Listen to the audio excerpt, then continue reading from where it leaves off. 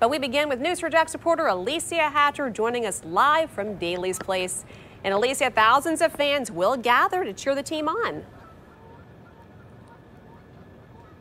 Hopefully they will. The party isn't over yet, so if you don't have any plans today to watch the game, you should come down to Daily's Place. So there are tickets still available. I was looking online. I'll walk you through the steps here. So first, you go on our website, news4jax.com. You click on this uh, web story that starts with excitement bills for, and then you scroll down until you find the link, and it will show you down here the Ticketmaster link. You click on that, and it will bring you to the Ticketmaster's website where you can reserve your ticket to get out here to come to the game. Yesterday, tons of fans were out here